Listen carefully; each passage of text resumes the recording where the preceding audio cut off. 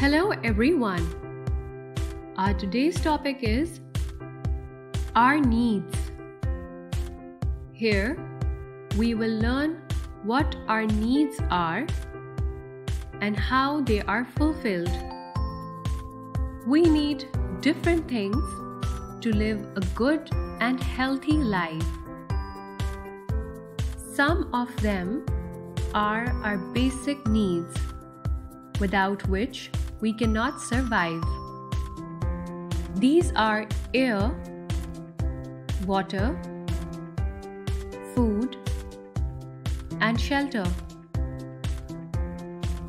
Air.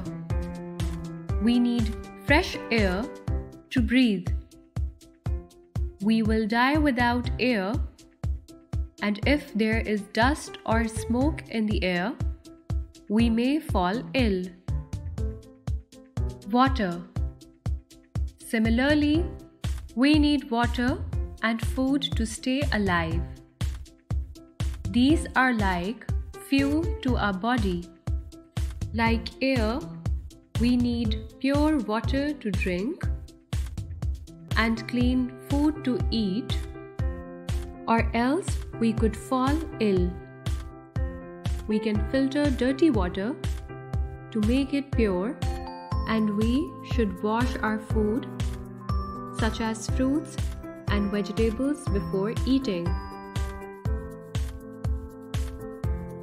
Food We need to eat all types of food to keep our body healthy, such as fruits like banana, apple, mango, grapes, etc. Vegetables like potato, brinjal, spinach, cucumber, etc. Meat like beef, mutton, chicken, fish, etc. Grains like wheat, rice, barley, etc. Dairy like milk, yogurt, cheese, etc. Each type of food provides lots of different benefits to our body. Therefore, it is important to eat a little from each group every day. Shelter We need houses to live, which give us shelter and safety from hot, cold, and rainy weather.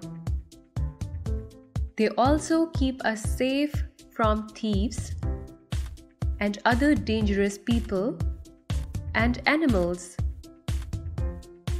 There are also other needs which are secondary to basic needs like education, recreation, and entertainment. There are different forms of recreational and entertainment activities, such as playing some kind of sports like cricket, football, racing, etc. Going camping or hiking, going to the beach, gardening, watching TV, playing chess, doing art and craft, and so on. These activities keep our minds and bodies fresh and healthy. We need clothes too. Clothes keep us safe from dirt and harsh weathers. We wear cool cotton clothes during hot weather to keep us cool and wear warm woolly clothes in cold weather to keep us warm.